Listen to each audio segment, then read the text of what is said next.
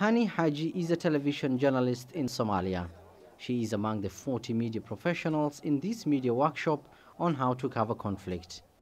Somalia has endured 20 years of political anarchy, war and terrorism. But since the formation of a new government last year and the success of African Union and Somali forces in reducing insurgents' control, the media environment is changing.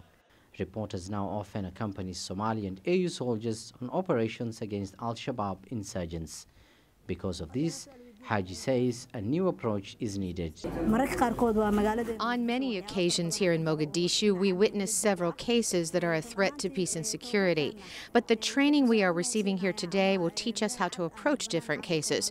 For instance, when there is an explosion in the city, the training has taught us how to cover such kind of news.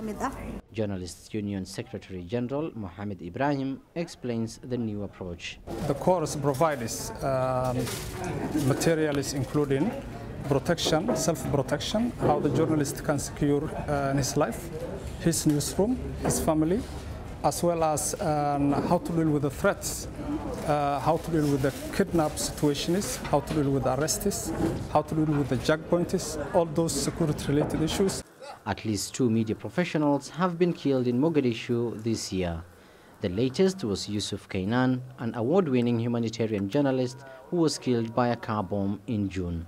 Ranked among the most dangerous countries for media professionals, journalists in Somalia say that despite the threats, they are committed to informing the public in an effort to contribute to a peaceful future. This hostile environment training also addressed ways in which the media can support the stabilization process.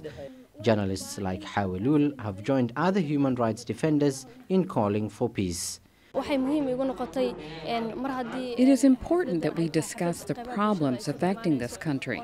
As a journalist, I must participate in building the peace, listen to and share the different ideas of the Somalis to be able to contribute to the peace programs.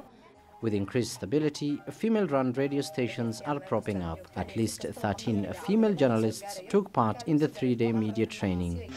The profession has lately seen an increase in the number of female journalists across Somalia. But with attacks on media professionals still on the rise, journalists hope for a strong government that will put an end to the violence and protect them before more fall victim. Abdulaziz Billow for VOA News, Mogadishu.